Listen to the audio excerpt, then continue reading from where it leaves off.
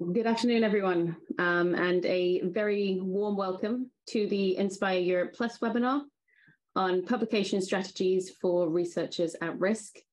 I will give a brief introduction to the project first of all, um, and the, we will then cover some housekeeping rules before I hand over to our three key speakers for today.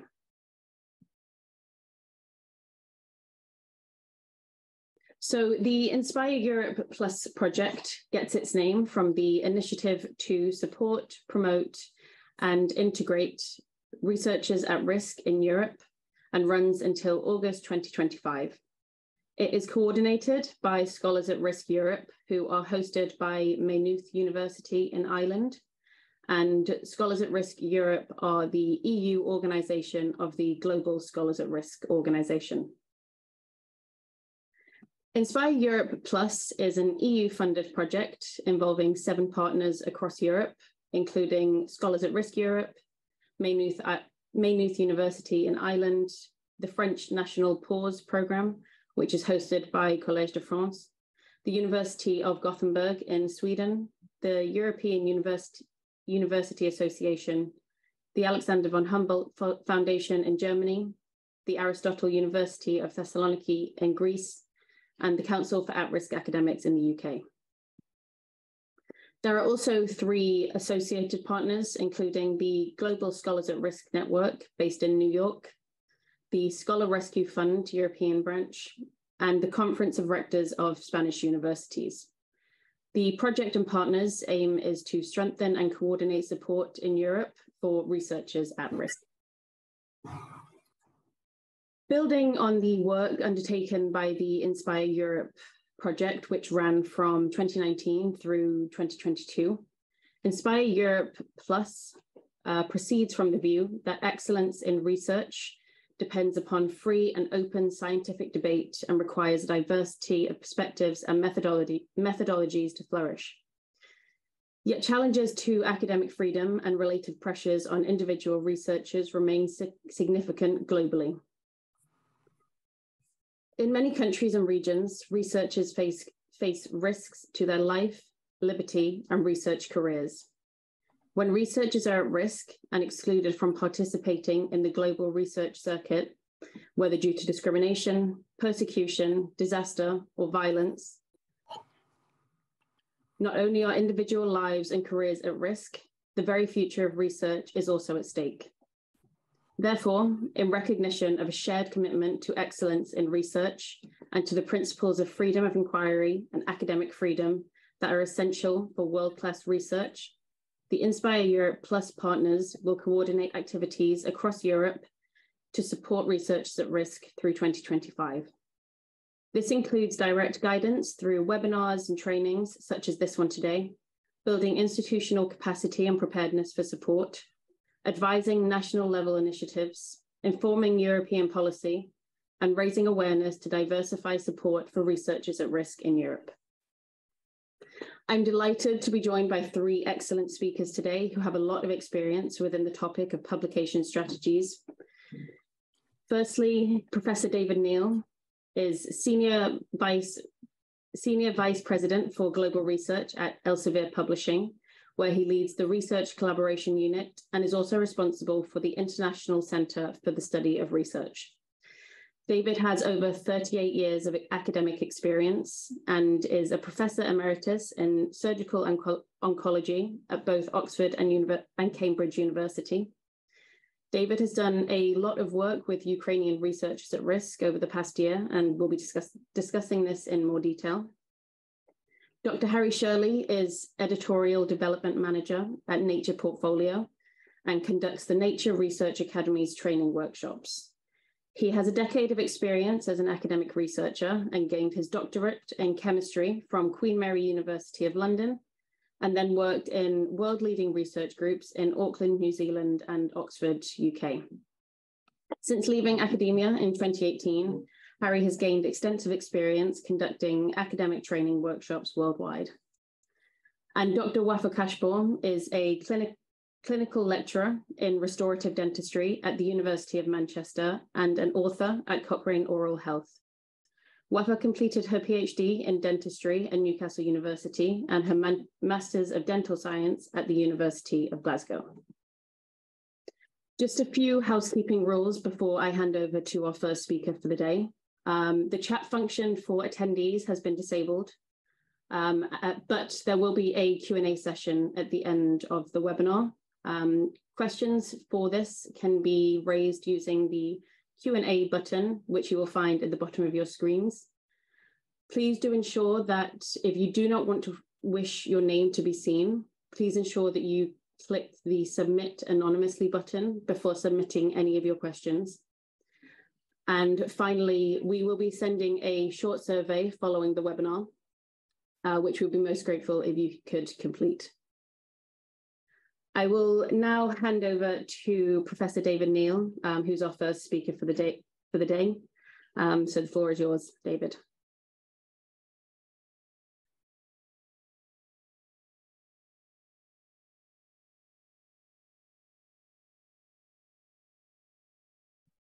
Ask if my screen is visible to everybody?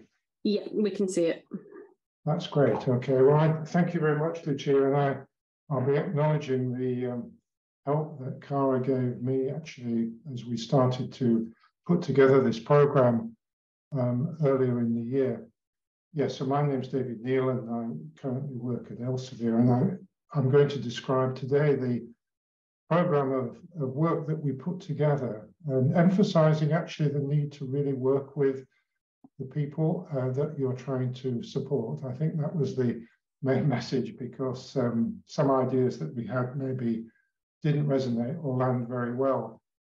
So I, I probably can go through these first slides very quickly, um, but really just to go through the history. I was, I was, for instance, I was in Berlin uh, two weeks ago, and you can still see the impact of the refugees from Ukraine in Berlin, even though they are being looked after very well there. There's there's huge numbers of refugees in, in Germany and in other countries, Poland as well, Czechia, Moldova, and so on.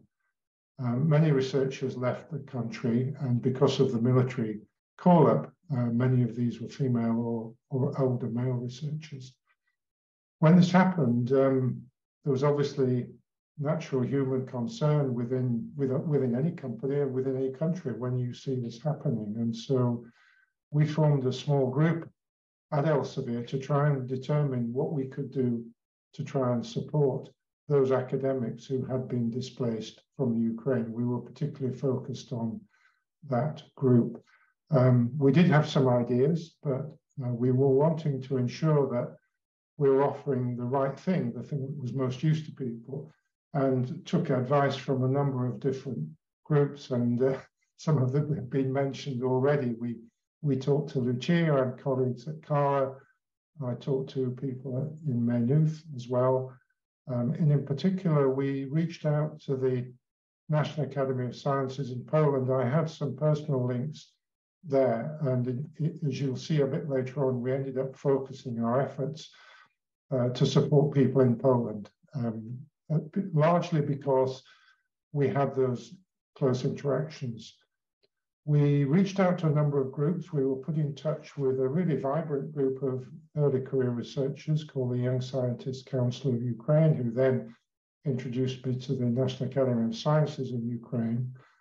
And through some personal contacts, I made we had discussions with some individual researchers who left the country and who were settled in a number of different country, uh, uh, universities in Poland.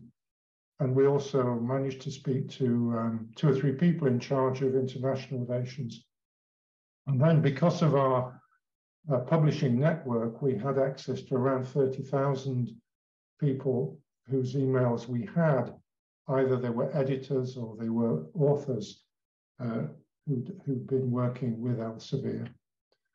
So um, these were some early responses that we made, which actually were not really specific to publishing or academia, but um, you can see here that there was an early response from our parent company at RELX. Um, people wanted to help us. You know, we were seen In the Netherlands, for instance, again, where quite a lot of people ended up going, there was some the company matched any donations that were being given by individuals. Um, and you can see that the sort of things that we did uh, early on. But the more significant thing is we worked with the National Academy of Sciences in Poland, and we wanted to know if a donation would help. Would, would some cash actually help people who had moved to Poland? And indeed, um, that was that offer was gratefully accepted, and we continue to work with the National Academy, who are about to announce. Um, I hope I'm not letting out secrets here, but they're about to announce a major program of significant funding for displaced academics who the senior investigator will be in Poland, but there may be colleagues still in the Ukraine. And this will be a, a, a funded program lasting three years to try and support people who have been displaced from Ukraine, but nevertheless may wish to go back in due course. Um, we the probably the most useful thing was working with the Young Scientists Council of Ukraine, to be honest, where we got strong feedback, and they indicated that they wanted training. Um, and perhaps Harry will come on to this in a moment later on, but they wanted access to what we call Researcher Academy. We have lectures and webinars for things like research integrity, how to publish, how to edit, and so on and so forth. And we they said they really would like access to some of our databases, Science Direct being where we hold most of our publications, Scopus, which is uh, useful for finding colleagues out, out of the Ukraine. I mean, the particular feedback we got was, you know, we're in a very disturbed situation. We want some normality. We want to reach out to some colleagues who are in France or in the UK or in the US where I can I can have a mentor, I can talk to somebody. So that's one thing that we picked up. And then some other um, things that were specific to our clinical resource that we, we've supplied these free to um, medical academics in Ukraine. Uh, we actually did have to provide some secure method of contacting them uh, as well, actually, because so that these couldn't be traced um, given the situation of where they were working. So we, we issued ad personam tokens. Uh, we then set up a mentorship program for editors of Ukrainian journals. Um, this is a brief thing about the resource page we set up. This is the link um, you can see. And this is what we managed to achieve. We contacted over 30,000 people.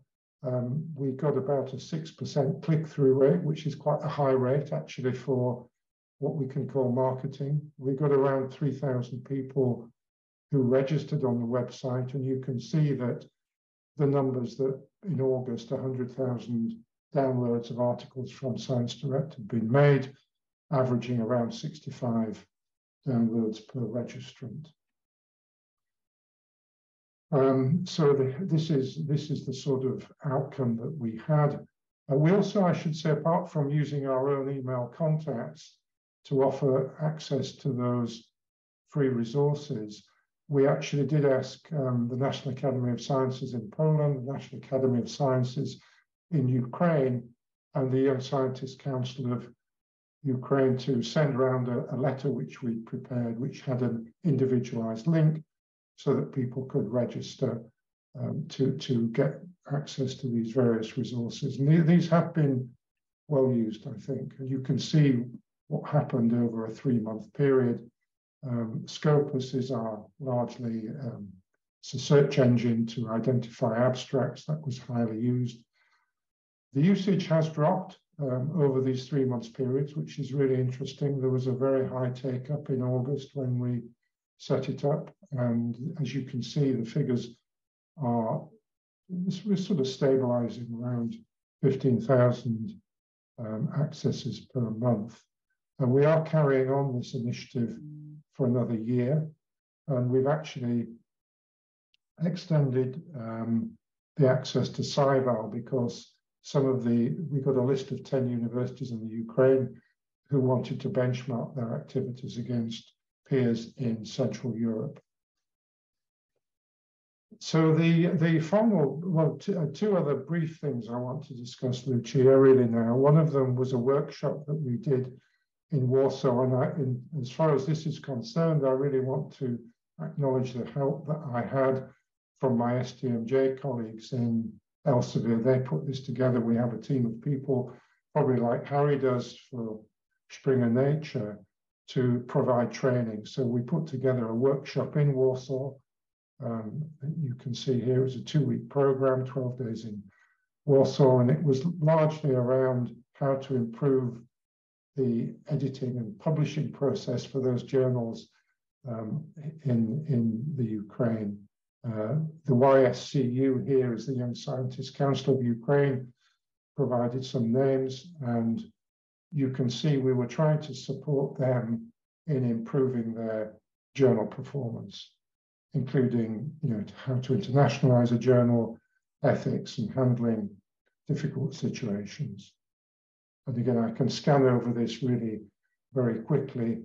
Um, these are just the names, there are no names of Ukrainian colleagues here. These are internal colleagues in Elsevier who put together this two-day program in October. And you can see the sort of things that were covered uh, in training some editors in, in, in Elsevier. And finally, I want to just uh, probably cover something that you'll be familiar with, Lucia and Harry, um, which is another way that uh, publishers are supporting not just what's going on in Ukraine. I mean, we are uh, very aware that, in a way, um, this has been going on for many decades. And CARA, of course, has a history of being set up in the 1930s to deal with an exodus of Jewish particularly Jewish academics leaving Germany at that time. So this is a continuing program, and we, we are aware that that's the case. And we've learned a lot from doing this with Ukraine. Research for Life, as you can see, um, provides quite a bit of support to a number of different countries, some of whom um, are not subject to conflict and the sort of things that Lucia was talking about, but are subject to you know low, low uh, GDPs and often require often wish for additional support so that you can see a number of uh, quotes here that what Research for Life does. And I could go into more detail about which countries are covered, but uh, we are relatively short of time. But you can see here that a number of countries are covered either as Group A, where resources applied are supplied by Research for Life without charge, and then a number of other countries that have relatively low GDPs or are subject to global violence, where they have reduced charges for a number of different products that Research for Life covers. And this has been working for about two decades. So, in summary, um, I would say that you know there was a strong internal pull from people in the company who wanted to do something. Um, I'd emphasize that working with those academic colleagues who were displaced was really critical to me in finding the best solutions to not to argue with, but to champion within the company to ensure that we got the right resources. Uh, we did provide donations, um, but actually it was the provision of the pro bono products that were really most appreciated. And we're continuing to support and review things regularly. Um, the internal lessons I think that I've escalated to the senior management in the company is that we should be prepared to help in the future because these things will happen in the future. History tells us, and we've learned from that. We've documented how we've gone about it to reduce some of the um, uh, bottlenecks, wrong word, but maybe the friction that there was internally in the company, just getting things moving um, from different parts of the company. And we've learned a lot from that, how to bring people together to try and deliver these solutions that people really wanted to do to help. So that that's me, Lucia. I hope that's around 15 minutes. Uh, that's great. Um, thank you, David, for sharing that. Um, it's great to see the work that Elsevier is obviously, obviously doing um, for Ukrainian researchers at risk and then with the Research for Life on a more broader scale.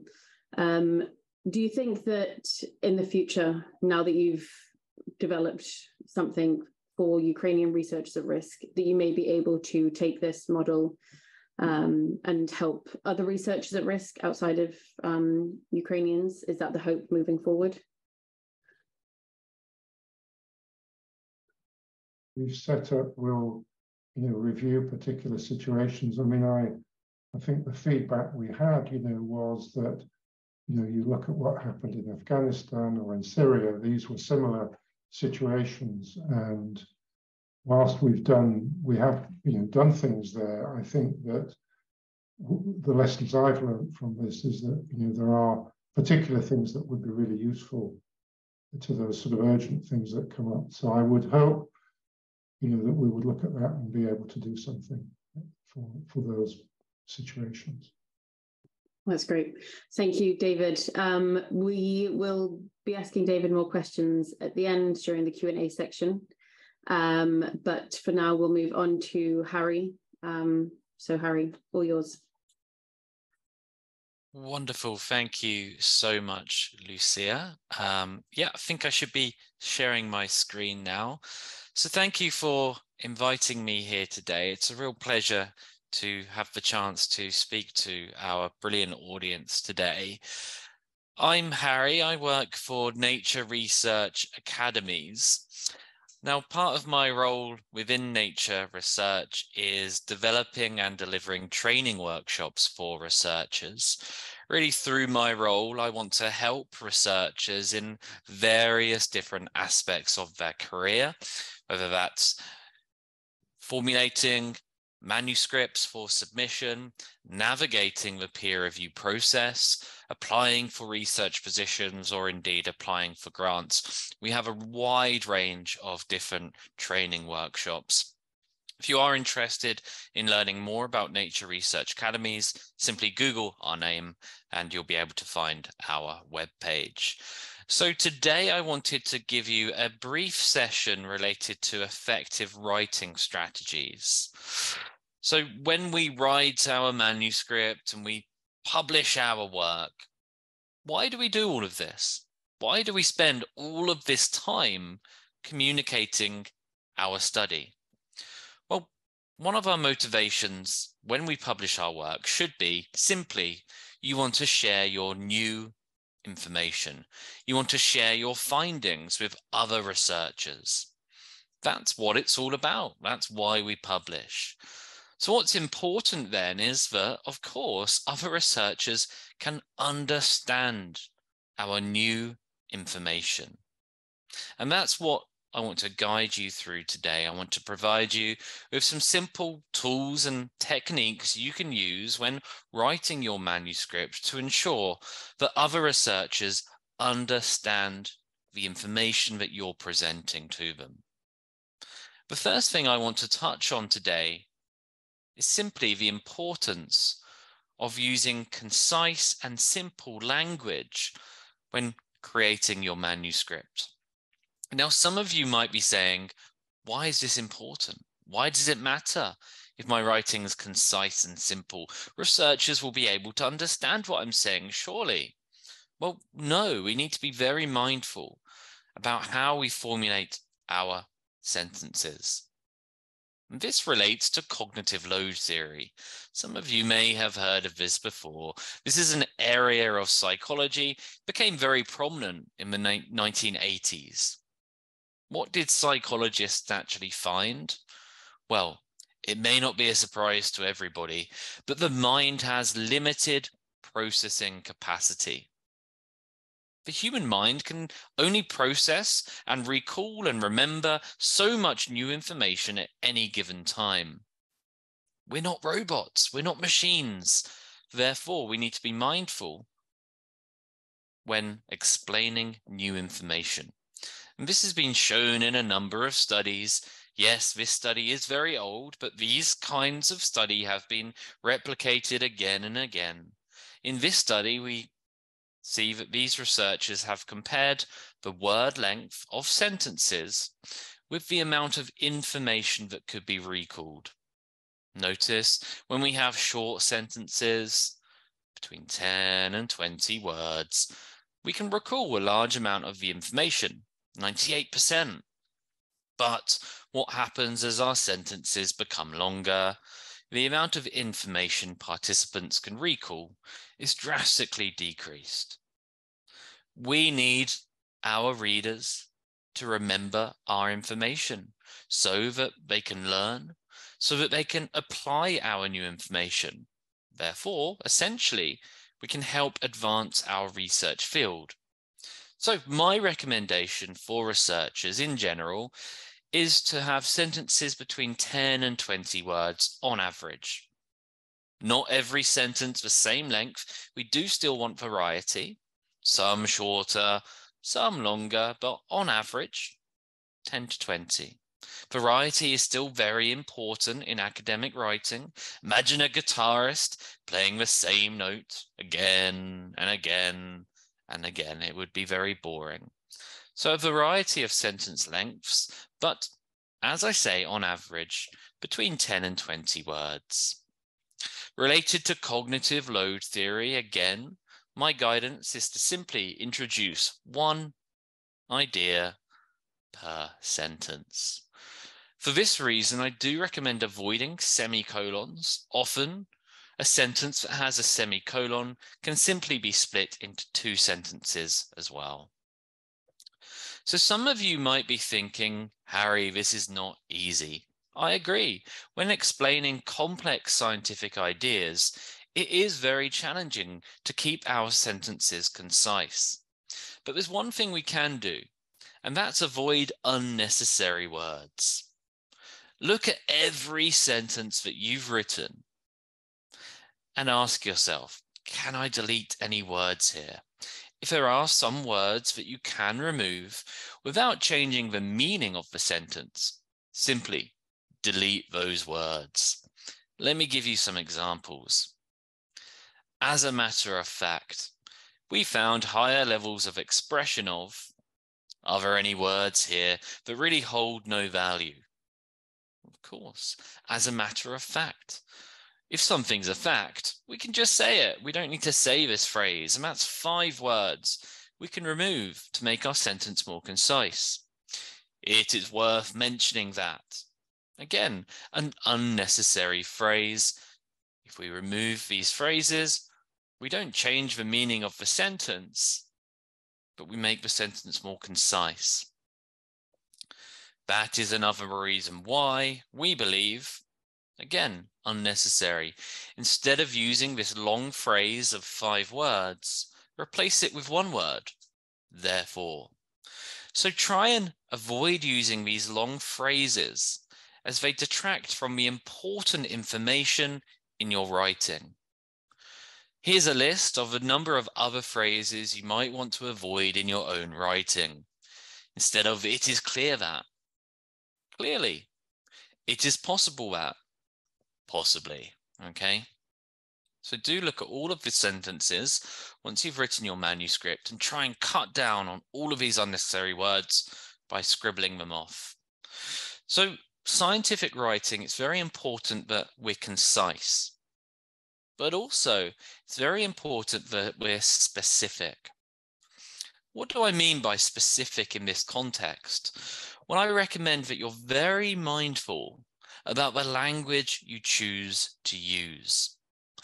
Let me give you an example of some problematic words that researchers sometimes use in their writing that can actually be a problematic example. Do be careful using pronouns. These can be unclear subjects. Of course, we all know what pronouns are this, that, those, they it. How can these be problematic? Let's have a look at an example. The study by Robins et al. randomly allocated 320 and 331 participants into the experimental and control groups respectively. They were then blinded as to whom received each intervention. Can anybody see anything that's problematic here? Of course. Who is they? Is it the investigators? Is it the participants? We don't know. We can guess, of course. I'm sure many of us in the audience would probably guess that it's the participants. But should scientific writing have this ambiguity? No. Scientific writing needs to be objective, clear, have no ambiguity at all.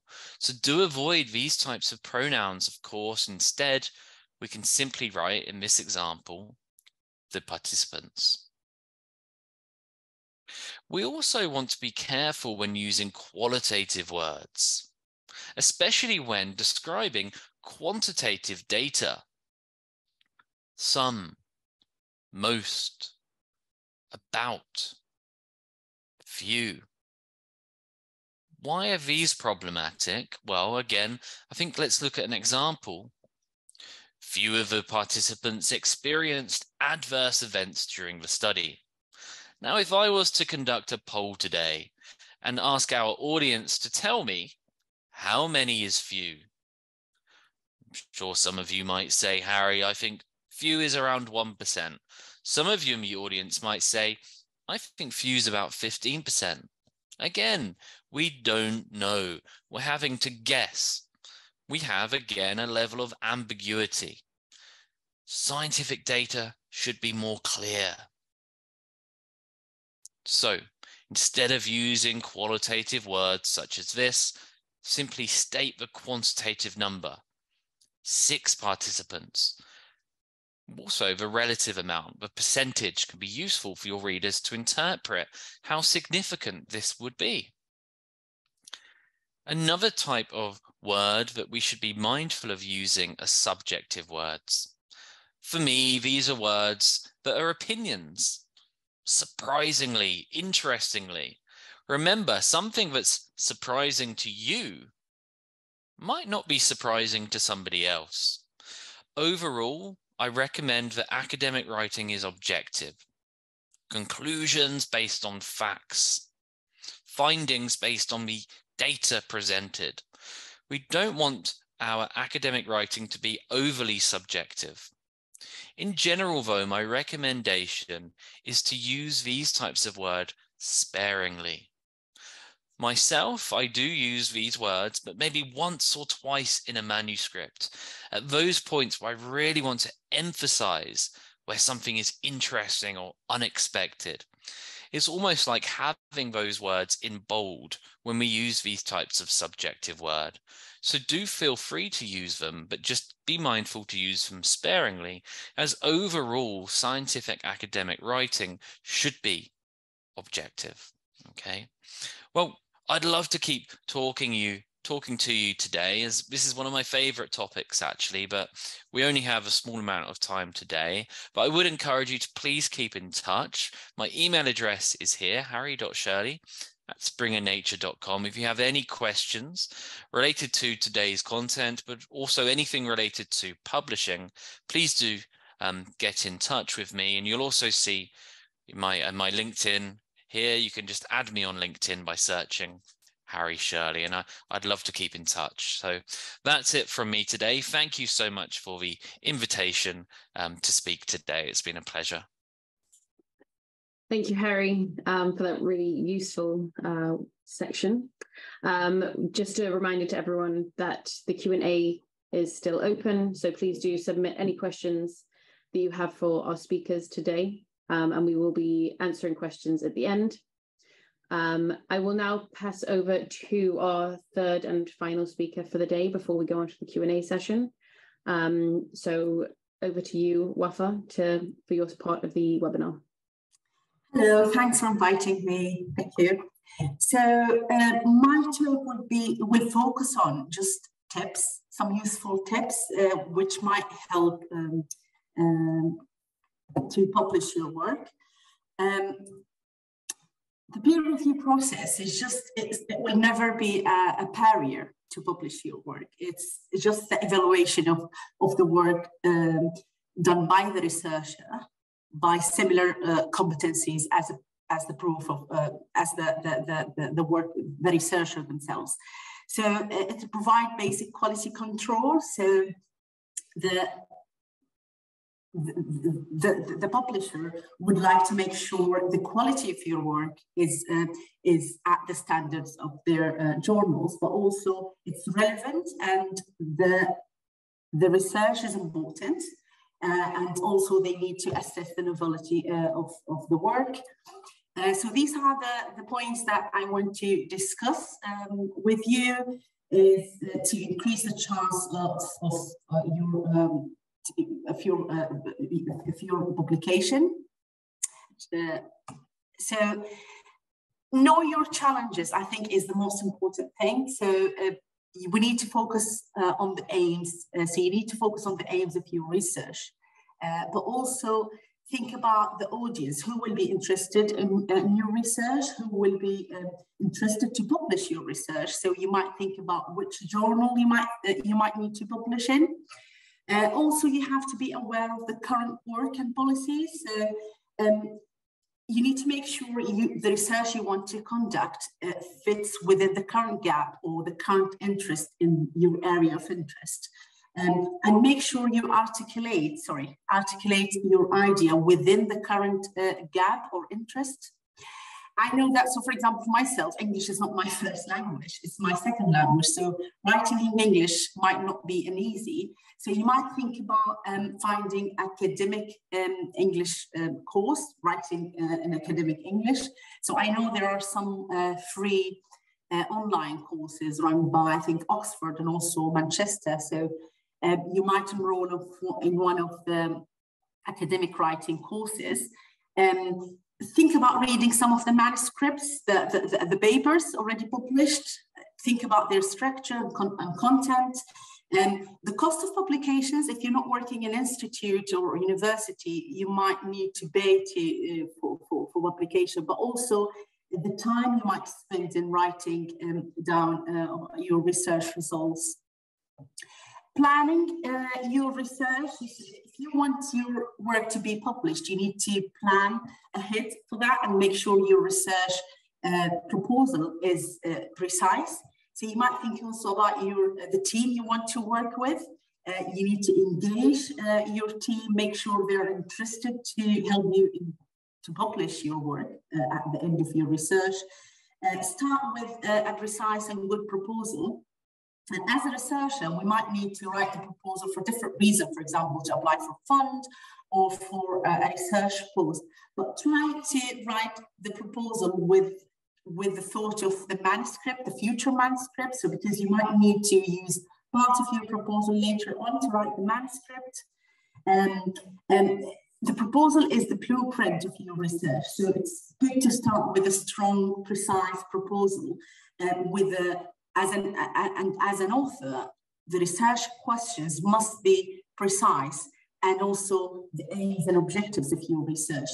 Keep it simple. So as um, Harry said, just make, keep it simple always in terms of writing your research, but also make sure the research, your research, research questions and research aims fit the current gaps and current interests. So you find someone who's interested or some uh, journal will be interested to um, publish your work. For example, in dentistry, we always, all publishers will be always interested to make sure uh, they will they would accept any research which might link to patient care. So even if the research is in vitro research, if it's linked to the future patient, patient care, uh, will be more um, popular and more accepted trying to make sure your aims and objectives um, offer solutions uh, to a current problem. Um, maybe start with um, by, by finding a couple of journals you're interested in in the future. So if you started your research now, try to find a couple of journals um, and try to keep reading papers from those journals so you'll be familiar with their structure, with their aims, and, also you might uh, uh, choose key, two key papers, for example, with high citation, um, written by non-experts. And as a researcher, those key papers will help you find the best way to conduct your research Also, it will enhance your ideas and you will learn from those experts. But also as an author, you'll be more familiar with the journal format um, uh, and the journal language. Uh, you will know more about the structure of manuscript. Different journal will have different structures. Um, and also you might find more studies from those key papers, which you might use uh, in your um, future uh, manuscripts. Uh, I would advise also to study the specific journal peer review process. So each publisher will have um, details of their peer review process. So if you look at it in advance, and you'll be more prepared uh, to, uh, to, to, submit your work in the future. Um, the, the, journal manuscript submission guidelines, every publisher will have uh, the manuscript submission guideline in their website. And if you spend sometimes trying to access those links and read about the specific journal um, guidance, then that will help you in the future to write your uh, manuscript. I would advise also to write as you go. So don't leave it until the end. So from the point of writing the proposal, you might think about which section of your proposal might be suitable to be incorporated in that future manuscript. Um, think about the title of the publication you want to publish. Um, maybe that can be extracted from the aims and objectives of your work. It might be a research question. Uh, so think about what title you would choose. You might start writing the material, the method early on from the start of your research. Um, and then you build on uh, the manuscript as you go. I wouldn't advise to leave it until the end of your um, research. Uh, proofreading your work, if, if English is your uh, second language, uh, then you might need to re read it and reread it, and we might become insensitive to our mistakes. So give it to a friend, a native speaker, or maybe um, someone whose English is uh, good. To read it by a second person will be um, a good idea uh, to receive some feedback. Also, you might send it to a proofreader or proofreading services. There are many online um, which offer um, proofreading service. Uh, then you might want to, at this stage, to revise the manuscript against the specific journal guidance or um, author guidelines, just to make sure the structure you're using is similar to the, the, the guidance from the journal you're trying to submit to. You might think also after proofreading it to give it to an expert from your team, from your university or outside of your research team, just to have a look and maybe receive additional uh, feedback. Try to respond to any feedback and don't be offended. Just try to improve. Any feedback will help you improve your original manuscript. Make sure before you submit your work, it's strictly following the instruction to author guidance, which, as I said, available in every publisher website. Um, because that might be a reason for rejection uh, if you don't follow it strictly. Um, and then wait maybe 12 weeks until you receive um, their uh, reply. Um, reasons for rejection usually is a poor study plan or poor study design, I mean. Um, and that's when the proposal is, that's why the proposal is really important. So writing your proposal um, and make sure it's precise and robust will help, will increase your chance of future uh, publishing, publishing. You might receive minor or major correction. Um, so that's not a rejection, but uh, they're asking you to add more information maybe. So you will receive a letter. So try to follow the reviewer comments one by one and try to strictly apply um, uh, their suggestions. If you can, then you just have a clear justification of why you can't change uh, or you can't make the changes they're asking for. And um, write clear and concise response to the editor and the reviewer comments. And there's a what's on, what, what's on the screen is a paper written by um, an author and which will explain uh, how you would write um, a response to editor and reviewer. Um, so this, these are examples. So try to respond to each reviewer comments and um, reply to their uh, suggestions and make changes uh, and show exactly where the changes uh, in the manuscripts. Try to resubmit, don't be offended if they just reject your work. You can always improve it, respond to feedback and just resubmit your work uh, or maybe consider another um, uh, journal. So hopefully this is uh, helpful, Lucia. Yes, that was really great. Thank you, Wafa. Yeah, welcome.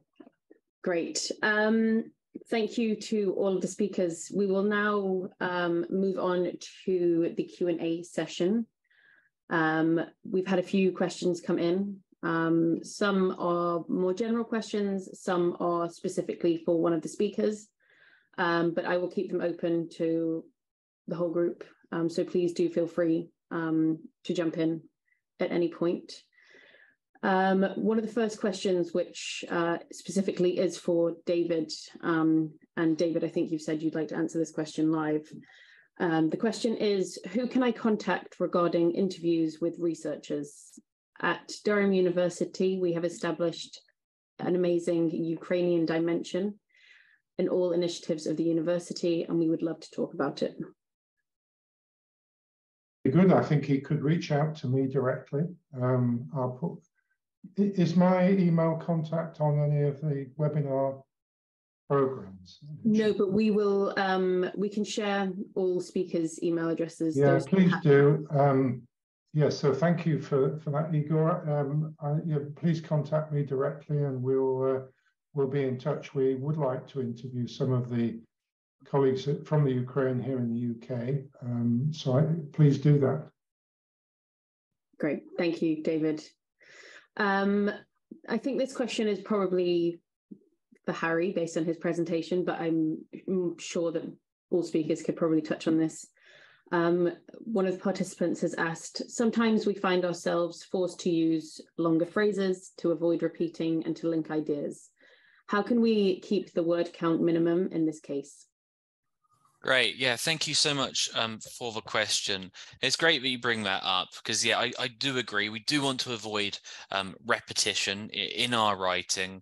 So sometimes we might want to reword um, a, a, phrase or reword um, the way that we're describing something.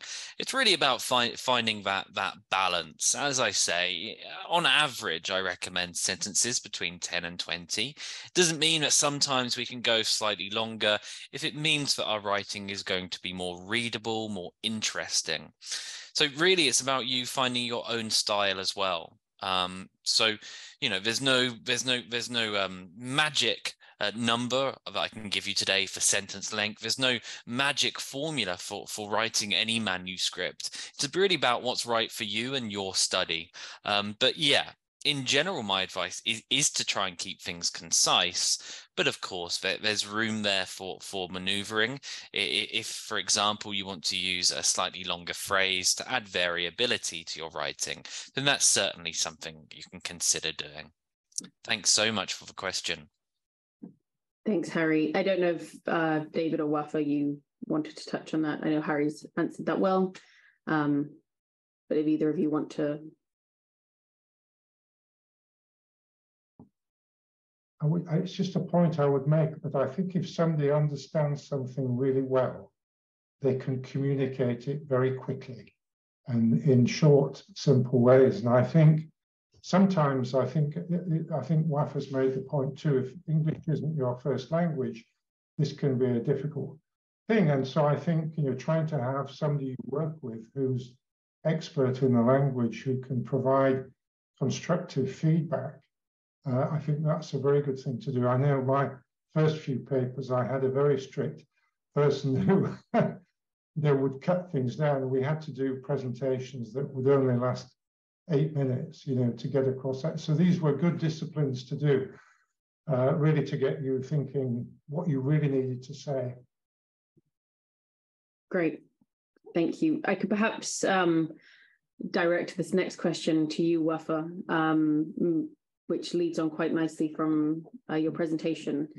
Um, somebody has asked regarding the academic writing courses that you mentioned in your um, when you were speaking how do how can someone enroll onto such courses? Um, are they online? Um, and perhaps you could maybe mention if you personally attended any academic writing courses and how you found them beneficial. Yeah, of course. So um, I'll share the screen just for my, uh, hopefully I'll find it there, yeah. Um, so these, if you search in Google, just um, academic writing courses, there are several, all of those are free courses. So the one on Coursera, for example, um, they're all free. Uh, so writing, academic writing in English by the University of California. Here in Manchester, we have um, uh, a nice um, uh, link to academic writing phrases. So you can always, uh, so I'll try to send you the link, Lucia, and might send it later to the, uh, to whoever interested. But all of the courses there, the Open University is free courses. So you can just enroll online.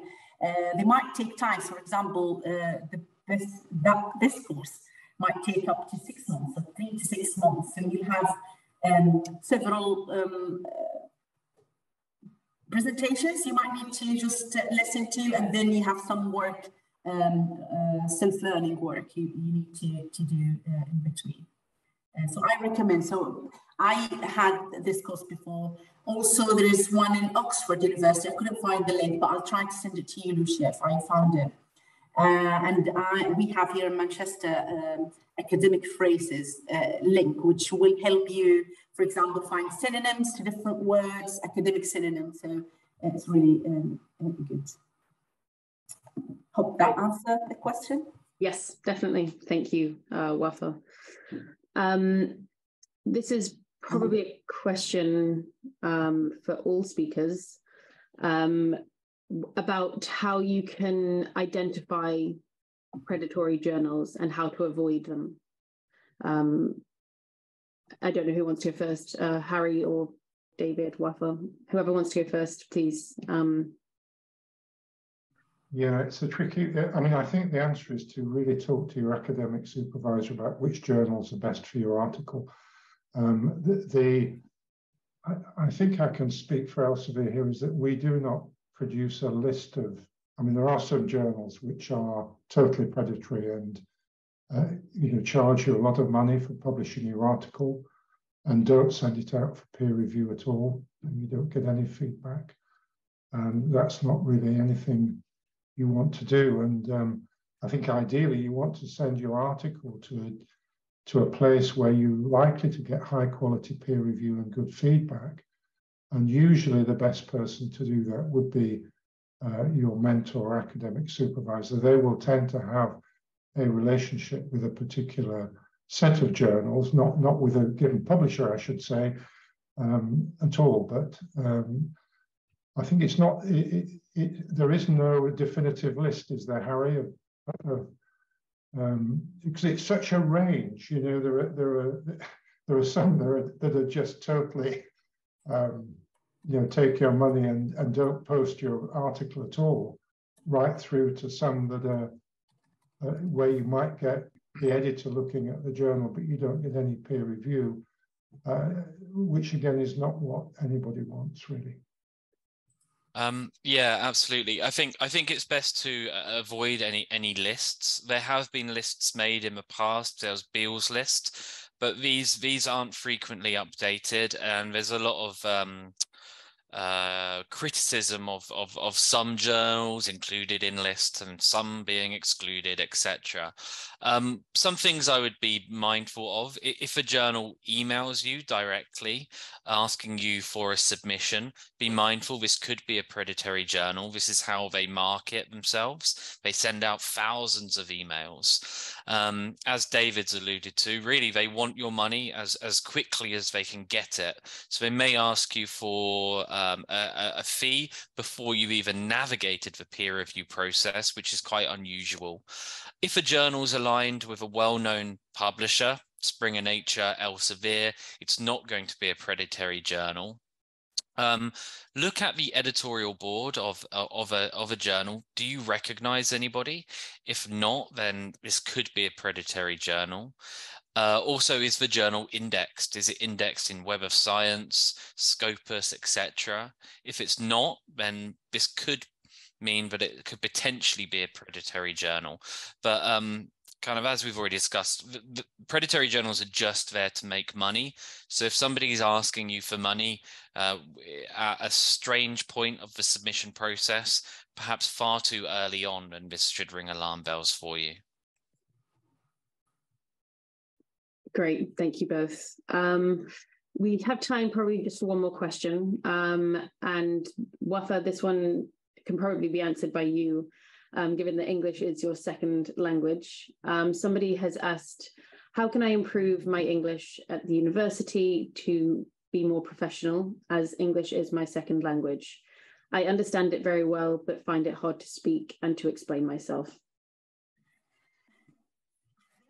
Again, it's just going to several, it's, it's sometimes it's difficult because uh, just make sure you're involved with native speakers as much as possible um, especially in scientific meetings. For example, try to be involved in journal, if there is any journal groups, like um, um, we have here, for example, in Manchester, um, a journal club.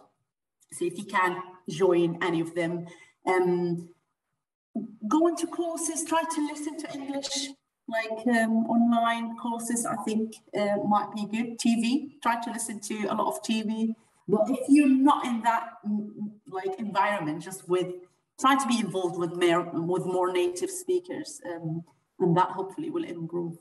Mm-hmm. That's great. Thank you, Wafa. Um, unfortunately, we do not have time for more questions. Um, I will just share my screen for one last time. Um, so I would just like to thank uh, our esteemed panel. Um, thank you to all three of you uh, for today. Um, it's been great uh, to hear you speak and to have you all share your knowledge on this topic. Um, and I would also like to thank all of the attendees for your time and for your questions. Uh, there will be a recording of the webinar uploaded onto the Inspire Europe Plus website. Um, and hopefully some of the presentations from the speakers will be made available um, the resources that were mentioned today throughout the webinar will also be made available following uh, the webinar. For those who registered for this webinar, you will also receive a di direct link to all of this via email. Um, before we end, I just want to share some upcoming events with the Inspire Europe Plus project. Um, on the 8th of December, so on Thursday this week, there will be a webinar for host institutions on remote fellowships for researchers at risk. This is primarily targeted at host institutions, but researchers at risk are more than welcome to attend. And we would ask that you share this with your colleagues in your host institutions who may be interested in learning more about this. And finally, how can you get involved and connect with the Inspire Europe Plus project? One way is to join the mailing list. Um, this is where you will find Inspire Europe Plus events and activities. This is where they will be shared. You can join this by visiting the SAR Europe website listed here. And you can also email inspireeurope at mu.ie. You can also find us on Twitter and LinkedIn, where events will be shared here as well. Um, so just a final thank you um, to David, Harry and Wafa and to the participants for your excellent questions. Um, we would really welcome your feedback on this webinar. So as I've mentioned, we will pr be providing a short survey in the next few days, next few days. Um, and yes, thank you so much to everyone for joining. Yeah, thanks. Thank you. Have a lovely rest of the day.